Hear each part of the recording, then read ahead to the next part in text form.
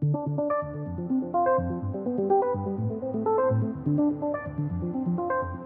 nada, encantaros de estar con vosotros 15 minutos.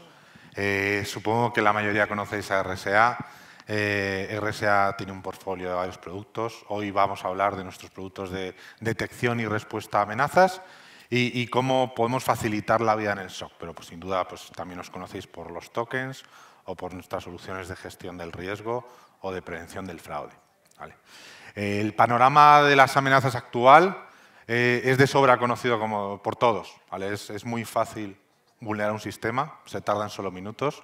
Eh, en días se puede comprometer y se puede empezar a filtrar información, pero la realidad y lo que demuestran las estadísticas es que seguimos tardando meses en ser capaces de remediar eso. Eh, me gusta mucho esta, parte de la presentación porque realmente esto es lo que define la estrategia de RSA. O sea, nuestro, máximo objetivo con, cualquier producto de esta línea o con cualquier solución o directamente nuestro objetivo primordial es conseguir que estos meses que se tardan en remediar las cosas se conviertan en minutos. Y, probablemente ese es el mayor ahorro y la mayor ventaja. Otra manera en la que lo vemos, pues eh, todos obviamente seguimos buenas prácticas, eh, aplicamos una defensa a profundidad, empezamos a meter firewalls, empezamos a meter eh, antivirus, distintas soluciones, CPS, etcétera, etcétera. La realidad es que siguen sucediendo ataques. Hace 10 años ya empezábamos a hablar de SIEMs, de controles, etcétera, y pues los empezábamos a añadir pero la realidad todos la sabemos. Sigue sucediendo ataques. ¿Por qué? Pues porque los ataques son inevitables. Lo que tenemos es que estar preparados para los ataques y no asumir que podemos parar todo. De hecho, se ve muy fácil. Eh, los logs, si nos vamos al mundo 100, nos ofrecen una visión muy limitada. Eh, al final solo sabemos lo que nos dicen los dispositivos a los que estamos conectados. En RSA creemos firmemente que eh, la visibilidad es clave para entender qué, ha pasado. Si yo soy capaz de ver a nivel de red, ver a nivel de endpoint todo lo que está pasando en mi entorno, soy capaz de decir por dónde han entrado, cómo han entrado, qué tipo de elemento, aunque sea dirigido, aunque sea desconocido, estoy viendo y cómo se ha movido dentro de mi red. Otros problemas habituales en los SOCs son los múltiples retos que tenemos, desde el cambio continuo en el alcance y nuestra superficie de ataque, a el problema de, los pocos recursos de especialistas de seguridad que hay en el mercado, o, incluso la difícil relación que hay contra el negocio. Es decir, y negocio no como, dinero, sino negocio como eh, a mí como responsable de seguridad, eh, que puede afectarme directamente. ¿vale? Pues obviamente eso no solo requiere visibilidad, requiere además ser capaz de funcionar automáticamente cuando es necesario y tener capacidades de orquestación y remediación. De hecho, lo vemos en, tres partes. Tenemos una parte de visibilidad, necesitamos una visión amplia de todo lo que está sucediendo. Necesitamos indicios, necesitamos elementos que nos indiquen rápidamente por dónde empezar a mirar, no solo es hunting todo. Necesitamos acción, necesitamos ser capaces de remediar, entender el alcance completo y poder parar o bloquear o hacer lo que haga falta. Si, lo vemos más en profundidad, de hecho, eh, lo que vamos a empezar a ver es cómo recogemos de cualquier elemento, sea la nube, sea on-premise, sea, eh, mm, eh, virtual, y empezar a enriquecer esa información. Toda esa información que se enriquece y se recoge se va a pasar a analizar y por último se va a poder actuar sobre ella. Si nos fijamos más en la parte de indicios, al final lo que vamos a tener es varias maneras de actuar sobre la información para sacar el máximo provecho sobre ella. Por un lado, la clásica, es decir, capacidades de detección en tiempo real, en este caso, obviamente, eh, cruzando datos sobre distintas tecnologías, recogiendo toda la información que hay dentro del tráfico de paquetes, recogiendo toda la información que hay a nivel de logs y recogiendo toda la información que hay a nivel de endpoint. De manera que podemos pues, funcionar desde una manera más tradicional, basado en firmas, basado en reglas, eh, sobre qué está pasando. Tendríamos una segunda parte, ¿vale? Eh, el uso de un web, un análisis de comportamiento de los usuarios y entidades. ¿vale? Analizamos toda esa información que tenemos de logs, de endpoint, de, paquetes, Pero en vez de buscar lo conocido, buscamos lo desconocido. Buscamos, hacemos un modelo y hacemos un análisis y detectamos qué anomalías hay en nuestra línea base de sucesos y por lo tanto detectamos que es desconocido. Detectamos que es malo o que es diferente y, sea conocido o desconocido realmente. Y tendremos un último sabor. ¿vale? ¿Por qué? Porque las amenazas avanzadas, su objetivo inherente es pasar inadvertidas. Entonces, hay situaciones en las que ser capaz de ver el 99% de los casos es suficiente. Pero todos sabemos que muchas veces ese 1% es crítico para que una empresa o una organización salga en las noticias o le afecte o directamente vaya a la quiebra. Eh, nosotros esta parte la llamamos hunting.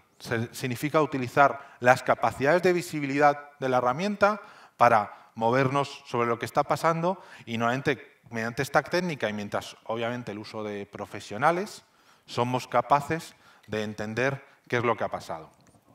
Eh, de hecho, lo podemos ver un poquito. Eh, al final, eh, se, trata de jugar con todos los sabores. Es decir, si solo me dedico a buscar lo conocido, obviamente voy a tener problemas con lo desconocido. Si solo me dedico a hacer hueva, pues obviamente hay muchos elementos conocidos o hay muchos elementos de otro tipo que, voy a sobrepasar, porque al final lo que acabo es poniendo un umbral a partir del cual considero algo riesgo. Y si solo hago hunting, pues obviamente necesito más recursos de, expertos en seguridad de información. Eh, lo que proponemos en RSA es una plataforma unificada. Nuestra plataforma es una plataforma distribuida que dispone de todas estas características. Dispone, por un lado, una plataforma unificada con información de inteligencia, con capacidad de reacción, con eh, un UI avanzado para flujos de todo el tráfico de información. Y por otro lado, tenemos una serie de elementos. Por un lado, la recogida de logs, la recogida de tráfico de red y la recogida de endpoints. Sobre ello nos apoyamos en Weba y además tenemos nuestra capacidad de orquestación. Todas las partes pueden funcionar de manera independiente, con lo cual eh, nos adaptamos a las necesidades eh, de cada uno de nuestros clientes. Eh, así, de esta manera, al final lo que hacemos es orientarnos desde un punto de vista de contexto. Es decir, pues si normalmente vamos a empezar por logs, sobre todo en, Europa, porque al final eh, el compliance es una parte muy crítica, ¿vale? Entonces, pues los logs suelen empezar a ayudarnos a cubrir esa parte. Ah, vamos, pero obviamente lo que vemos con paquetes, pues eh, desde qué ha entrado, por dónde ha entrado, cómo, cómo, ha sucedido eso, lo que vemos con flows, por ejemplo, esos movimientos laterales o lo que vemos en endpoint. Es decir, un proceso se crea, se destruye a sí mismo y empieza a mutar a otra información. Toda esa información junta es la que nos va a dar la máxima visibilidad. Pero obviamente las distintas organizaciones van a indicar eh, qué tipo de nivel de visibilidad puede llegar. Eh, a mí me gusta ver... Eh, sobre todo el tema de visibilidad en hunting de una manera muy sencilla. Suelo enseñar eh, este caso de uso. Eh, no voy a enrollar sobre cómo es la solución o cómo es la plataforma. Sí que vamos a ver pues, eh, la vista de hunting en la que veis que estamos marcando una serie de categorías, una serie de metadatos. Estamos pulsando sobre un metadato que es phishing, es decir, una alerta de phishing. y vemos que hay siete ocurrencias de esa alerta de phishing empiezo a investigar esa alerta de phishing, ¿vale? y normalmente yo pues ahí directamente pulso sobre ella. Eh, en el momento en que pulso sobre ella, el sistema va a empezar a, mostrarme no los logs solamente de phishing, que me los ha podido dar cualquier dispositivo o me ha podido alertar sobre ello cualquier dispositivo. Tengo el tráfico y los paquetes directamente de ese dispositivo. Eh, voy a poder navegar sobre ello y voy a poder eh, manejar esa información. De hecho, en este caso son tráficos de correo que estoy recibiendo, o sea que estoy viendo directamente todo el protocolo y toda la información asociada a ello. Puedo entender exactamente qué es lo que ha pasado. Pero es más, simplemente pulsando un botón puedo ver directamente ese correo. ¿vale? Y no ver el correo, sino ver por qué ha saltado la Es decir, porque apuntaba caso a Facebook, creo recordar, pero realmente nos mandaba una IP maliciosa. ¿vale? y puedo ir directamente a la plataforma y pivotar directamente a ese IP, porque realmente no tiene ningún misterio que haya un phishing. El misterio realmente es ver quién de mis usuarios ha pusado sobre ese elemento. Normalmente para poder ver eso tengo que andar pidiendo correos electrónicos a los usuarios, tengo que andar pidiendo eh, información a la gente de sistemas, supone tiempo. ¿vale? Yo aquí en cinco minutos he visto que si antes tenía siete conexiones, tres de ellos han pulsado directamente sobre ello. Es realmente fácil y rápido ver para un analista de seguridad, sin tener que tener interacciones con terceros, el saber cómo ha sucedido este caso. Obviamente el caso de phishing es muy tonto, pero pensad que realmente se haya información encubierta dentro de un DNS, eh, tráfico de APTs maliciosos, información asociada al web todo ello lo vamos a poder ver y analizar, poder explotarlo para ser lo más rápidos posibles y optimizar en ello. Dentro de... a ver... Si hablamos del web, pues obviamente va a ser mucho más sencillo. ¿vale? El, web al final nos va a indicar, oye, fíjate en este usuario o fíjate en esta entidad, que es el que está haciendo cosas raras, porque ha abierto, eh, ha creado 40 cuentas, ha cambiado 10 claves y él no suele hacer ese tipo de cosas, o está accediendo en horas sospechosas, o, todo ello junto, porque al final lo que hacemos es un diferencial de todo lo que está pasando. Y si hablamos de endpoint, lo mismo. Al final, endpoint nos va a decir, oye, es muy interesante que saber que estás corriendo un Mimikatz o un malware directamente en una máquina, ¿vale? Pero a mí lo que realmente me interesa no es que puedas ejecutar algo en PowerShell. Lo que me interesa es saber qué usuarios que nunca han ejecutado ese tipo de cosas lo están ejecutando. ¿vale? Entonces ahí es cuando el análisis de comportamiento empieza a marcar la diferencia. Y nos va a permitir, como siempre, tener visibilidad absoluta de lo que está pasando. Muchas veces lo hacemos, como antes, desde la red hacia abajo para entender completamente todo lo que ha pasado y otras veces lo hacemos desde el endpoint hacia arriba para entender desde el nivel de proceso hacia arriba todo lo que ha pasado. Al final el objetivo es tener la más visibilidad de todo lo que está pasando en nuestros sistemas. Si hablamos de análisis de comportamiento, nuestra solución de comportamiento es una solución eh, no supervisada. El objetivo es que tenga la menor cantidad de falsos positivos y que dé alertas de alta calidad, sin requerir tener varios analistas de Data Science trabajando en nuestra organización para poder sacar alertas. Eh, muy rápidamente cómo funciona. Al final se recoge la información, se adquieren los datos. Esos datos se van a enriquecer con información en tiempo real, en tiempo de captura. No hace falta procesos extra. Esa información se van a aplicar modelos, vamos a buscar qué anomalías suceden.